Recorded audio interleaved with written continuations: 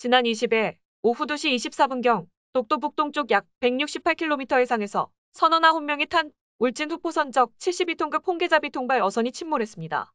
동해 지방해양경찰청은 대형 함정과 헬기를 급파해 어젯밤과 오늘 이틀에 걸쳐 본격적인 수색 작업을 벌이고 있습니다.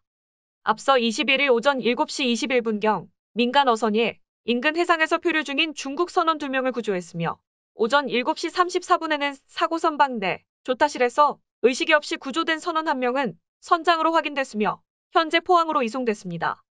현재까지 구조된 승선원은 중국 국적의 선원 2명과 선장 1명 등 총 3명인 것으로 밝혀졌습니다.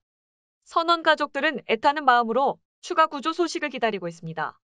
동해 지방해양경찰청은 사고 해상에 3,007함과 1,003함, 해군 함정과 어선, 어업 지도선을 추가로 투입해 실종된 선원들을 찾는 합동 수색에 총력을 기울이고 있습니다. 자세한 소식 알아보겠습니다. 독도에서 북동쪽으로 약 168km 떨어진 공해상에서 우리 어선 한 척이 전복됐다는 신고가 들어온 건 어제 낮 2시 24분쯤입니다. 전복사고 직후 일본 해상 보안청에 신고를 접수받은 동해지방해양경찰청은 곧바로 5,000톤급과 1,500톤급 경비함정 두 척과 구조헬기를 현장으로 급파했습니다. 현재 동해 전 해상에 풍랑주의보가 내려진 가운데 4m의 높은 파도가 일고 있어 현장에서 수색 작업에 어려움을 겪고 있는 것으로 알려졌습니다. 앞서 어제 저녁 7시 50분쯤 5,000톤급 해경 대형 함정이 사고 해역에 도착했고 해경은 20일 야간에도 조명탄을 쏴 함정과 항공기를 동원해 수색 작업을 이어나갔습니다. 일단 해경은 전복 선박의 위치 표시 부위를 설치하고 선박 위에서 선체를 두드려 반응을 살피고 있습니다.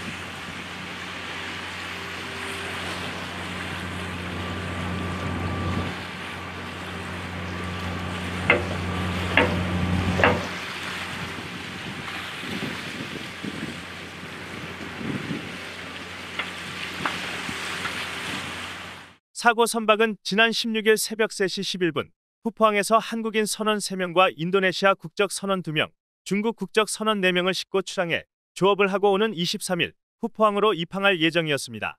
21일 오전 7시 34분 사고 선박 내 조타실에서 사망한 선원 1명은 선장으로 밝혀졌고 포항으로 이송했다고 밝혔습니다. 또한 앞서 21일 오전 7시 21분경 인근 해상에서 부표를 잡고 표류하다 구조된 중국 선원 2명은 울릉의료원으로 이송됐으며 저체온증 이외의 건강 상태는 양호한 것으로 전해졌습니다. 구조된 선원은 사고 선박이 지난 19일 밤 11시경 항해 중 큰 파도가 덮쳐 저연으로 점점 기울어진 상태에서 파도가 유입돼 사고가 났으며 7명이 해상으로 탈출했고 7명 중 5명은 부표를 잡고 있었는데 이 중 3명은 구명안을 착용했지만 2명은 미착용했으며 2명은 부표를 잡지 못했던 것으로 보인다며 탈출 전 선장과 기관장은 선내에 있었다고 전했습니다. 해경은 21일 오전 잠수사를 선내에 진입시켜 조타실과 기관실, 선실 등 수중 수색을 두 차례 실시했으나 많은 그물과 부유물을 제거하느라 진입에 어려움을 겪었습니다.